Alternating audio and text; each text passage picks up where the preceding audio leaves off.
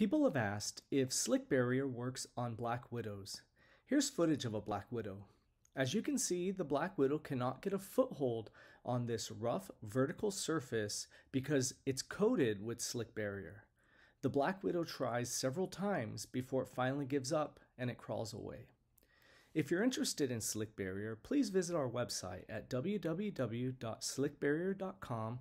Otherwise, visit our Kickstarter campaign. Thank you.